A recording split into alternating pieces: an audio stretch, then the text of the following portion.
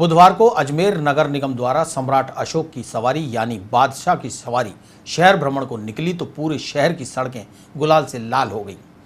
Truck में सवार बादशाह और बीरबल जब अजमेर के मुख्य मार्गों से निकले तो हर तरफ़ गुलाल ही गुलाल हो गया। बादशाह हर आने जाने वाले रागी पर लाल रंग का बीर फेंक रहे थे तो लोग भी खुशी खुशी सवारी का स्वागत करने की होड़ में लालम लाल हो रहे थे।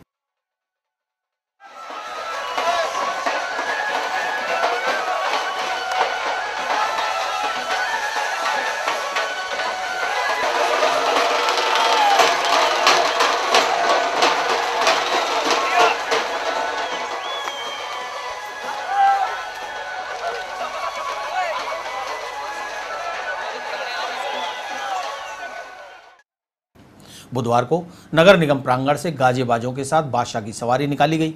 निगम पार्षद चंदन सिंह बादशाह बने तो कुंदन वैष्णव बीरबल बनकर शहरवासियों को होली के रंगों में लाल गुलाल करते शहर के प्रमुख मार्गों से गुजरे।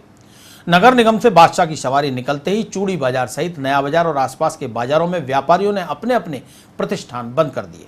हर बार गुलाल फेंकने से दुकानों में गंदगी के चलते इस बार दुकानदारों ने पहले ही दुकानें बंद कर दी और बाहर खड़े रहकर बादशाह की सवारी का स्वागत किया।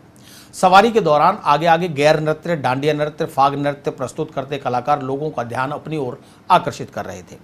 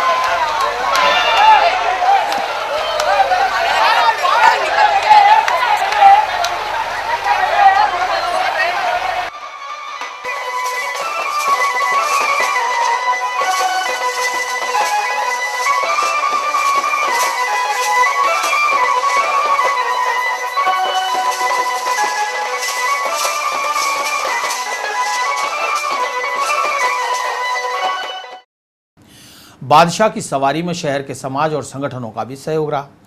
वहीं बादशाह सवारी के दौरान होली धड़ा से मंत्री की सवारी भी निकाली गई और दोनों का मिलन नया बाज़ार चौपड़ पर आकर हुआ। इस बार नगर निगम ने बादशाह की सवारी के लिए हाथरस से विशेष तरह का गुलाल मंगवाया, जो खुशबू बिखेरता नज़र आया।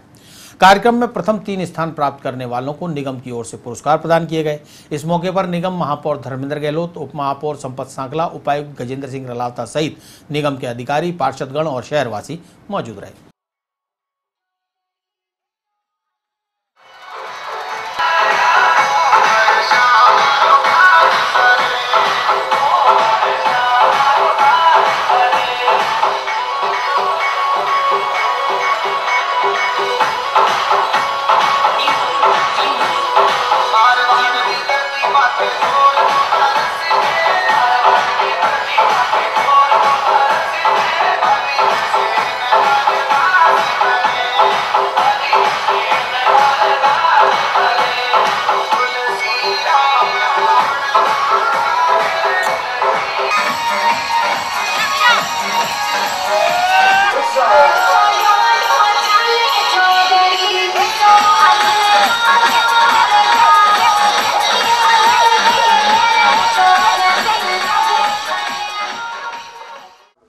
सम्राट अशोक की सवारी यहाँ से नगर निगम की ओर से निकाली जा रही है।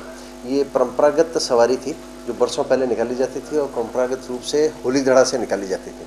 होली दड़ा के क्षेत्रवासी बड़े ज़ोर शोर के साथ इसको निकाले जाते थे और उसको शुभ मानते हैं। शुभ मानते हैं जो गुलाल है, गुलाल उड़ाई जाती है, उस गुलाल को लोग बाग शुभ मानते हुए खर्ची के रूप में अपने घर में रखते हैं, तिजोरी के अंदर रखते हैं। और ये वर्ष पर्यंत एक नगर की होली भी कहलाती है। इसके नाते हुए परंपरा जो बंद हो गई थी, इस परंपरा को हमने पुनर्जीवित करने के उद्देश्य से इसको नगर निगम की ओर से इसको प्रायोजित किया है। इसमें हमने ये भी ध्यान रखा है कि चूँकि होली दड़ा से ये परंपरागत रूप से बरसों पहले से निकलती आई है तो वहाँ के लोगों में भी ये परंपरा वापस जीवित रहे। तो इसलिए नगर निगम की ओर से वहाँ भी लोगों का सहयोग लिया जाता है। तो दो तरफ़ से बादशाह निकलेंगे। एक तो होली दड़ा की तरफ़ से बादशाह निकलेगा, एक नगर निगम की तरफ़ से निकलेगा, चौपड़ पे पहुँचेगी और वहाँ से जो होली दड़ा है होली दड़ा से जो सवारी आएगी, वो दोनों सवारियाँ राजा दोनों मिलेंगे। और दोनों मिलकर फिर आगरा गेट की तरफ़ जाएँगे और आगरा गेट की तरफ़ जाकर सुभाष उद्यान पे इसका समापन होगा। हमने इसमें यह व्यवस्था भी की है कि लोगों को किसी प्रकार की परेशानी नहीं हो तो अरारोट की गुलाल मंगाई है, जो सुगंधित गुलाल है, जो स्वास्थ्य के लिए भी हानिकारक नहीं है।